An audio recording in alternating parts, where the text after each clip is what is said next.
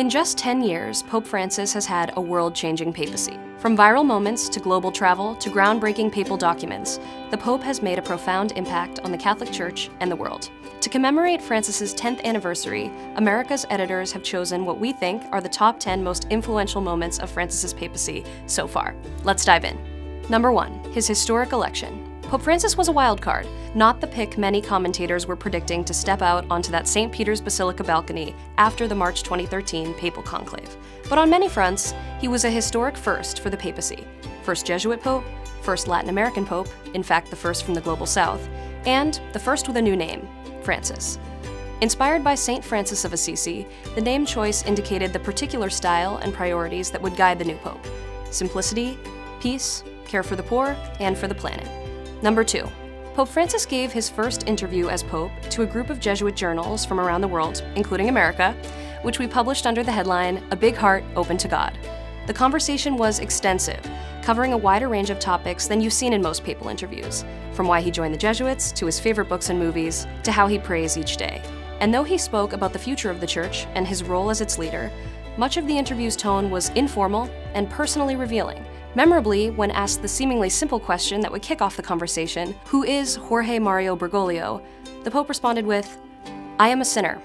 This is the most accurate definition. It is not a figure of speech, a literary genre. I am a sinner. This interview inaugurated a new form of papal communication not ever seen before. Number three, two important papal documents. One of the qualities that sets Pope Francis apart is his joy. Many who meet him remark it's visible and contagious. In what's considered his first exclusive papal teaching, Evangelii Gaudium, meaning the joy of the gospel, he says an evangelizer must never look like someone who has just come back from a funeral. He called for a church which is poor and for the poor, and said he prefers a church which is bruised, hurting, and dirty because it has been out on the streets, rather than a church which is unhealthy from being confined and from clinging to its own security. In many ways, this illuminating document is a blueprint for his pontificate. Second, Praedicate Evangelium, which applies that missionary impulse of Evangelii Gaudium to the reform of the Vatican's bureaucracy. When Pope Francis published his constitution for the reform of the Roman Curia, he reached a goal set by the cardinals who elected him. The constitution made several significant changes, allowing laypeople to hold governing roles in the church, formally making the protection of minors a part of the Curia structure, and decentralizing church government as a whole in favor of a more synodal approach. The total reform of the Curia to emphasize its missionary focus may in fact be the longest lasting structural change Pope Francis leaves behind. Number 4.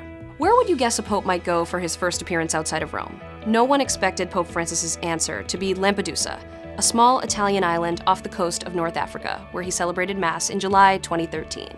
The island is a site where thousands of migrants seeking asylum have arrived, and also where many of those migrants died on the journey that they hoped would bring them to safety and a better life.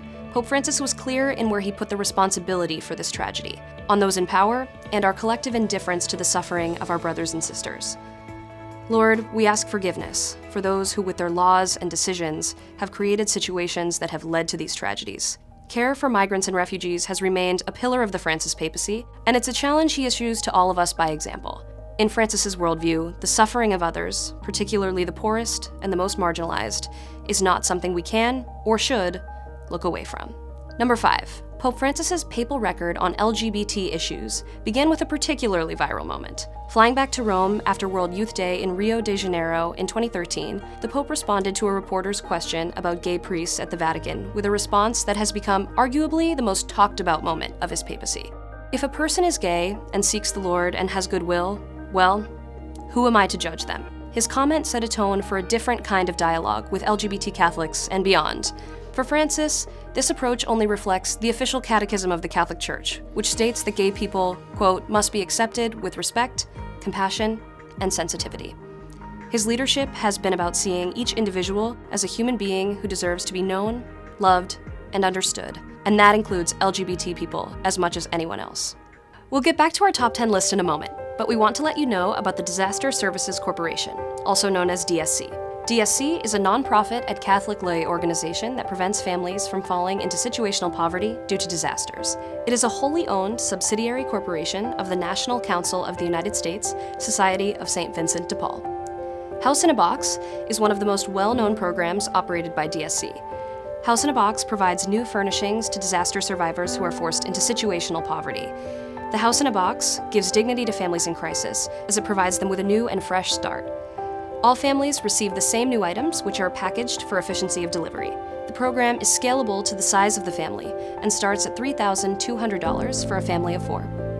One package includes beds, linens, dishes, pots and pans, dressers, silverware, bathroom setup, dinette, and a couch.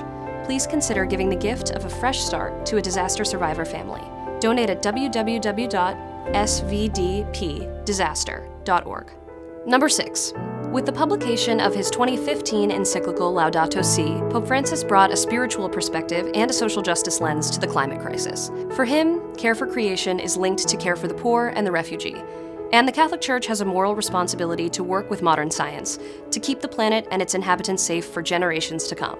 But Francis's solution is deeper than policy or project, though those are certainly important parts. He calls for an ecological conversion, changing our hearts and minds so that solidarity with creation and care for neighbor take the place of indifference, selfishness, and, in his words, a throwaway culture.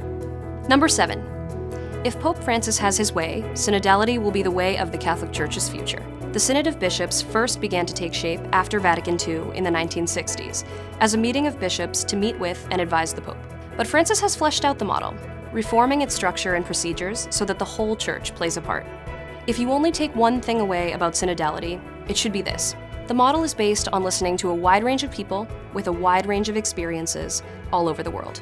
The synods under Pope Francis have surfaced contentious debates about hot button issues among Catholics, and no one knows where the journey will lead the Church. Francis believes the goal is to pay attention to where the Holy Spirit is calling the Church, working together to find unity in our diversity. Number 8. Pope Francis has made international travel a hallmark of his papacy, and his summer 2022 visit to Canada is emblematic of his commitment to meeting people where they are.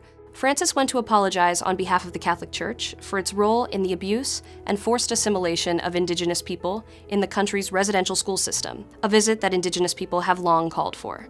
He said the policies of the residential schools were catastrophic and incompatible with the gospel of Jesus Christ. And he begged for forgiveness. Number 9. In Pope Francis's view, world religions must build the future together.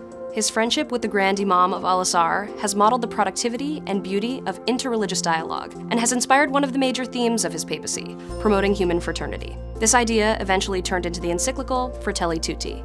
The two leaders jointly signed a document titled A Document on Human Fraternity for World Peace and Living Together in 2019 and have appeared publicly together on numerous occasions, including at the first ever International Day of Human Fraternity in 2021, when Pope Francis addressed the Grand Imam as my brother, my friend, my companion of challenges and risks in the struggle for fraternity.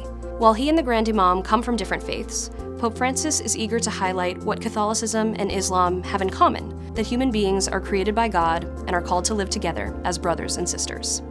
Number 10. Restricting the celebration of the traditional Latin Mass, the Mass celebrated before the reforms of Vatican II, has undoubtedly been one of the most contentious decisions of Francis's papacy.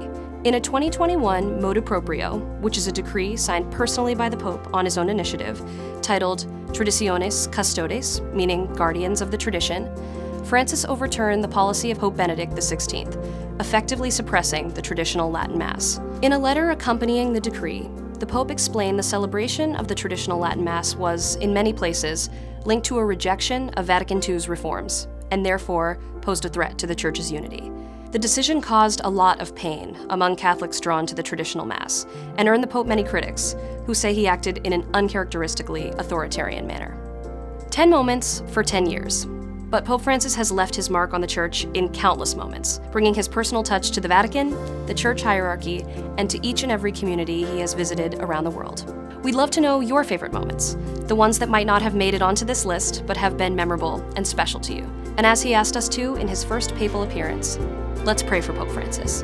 In thanksgiving for 10 meaningful years, and with hope for many more moments to come. Thanks for watching. Before you go, make sure to subscribe to our YouTube channel by hitting that red subscribe button. And if you like the video, the best way to support us is by purchasing a digital subscription from America.